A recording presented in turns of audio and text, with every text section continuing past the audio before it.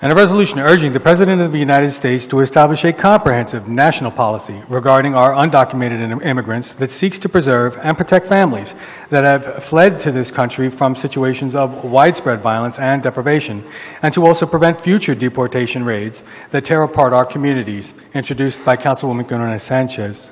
Chair recognizes Councilwoman Quinones Sanchez. Thank you, Council President. I will also briefly speak on, on this before I ask for a motion. Fear. Fear is, does not lead us to a public, uh, to public safety, and it will not protect our city, and it will not protect our country. Fear. Fear is what thousands of families who live in their native countries um, under extreme violence feel every single day. Fear is what the refugees, many who risk their lives, many who die on that pathway, seek an asylum into the United States.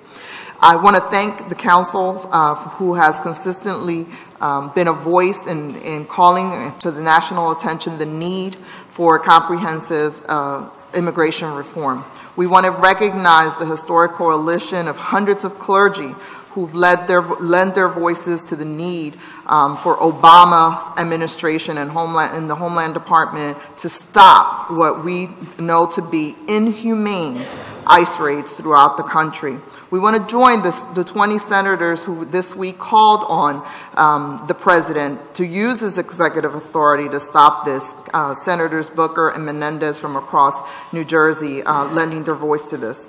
And finally, we want to thank Mayor Kenney, who in one of his first acts as mayor uh, reaffirmed the, the position of Philadelphia being a sanctuary uh, city, a city where police, stakeholders, and government believe it is our human uh, obligation to protect refugees and people who feel fear for their lives.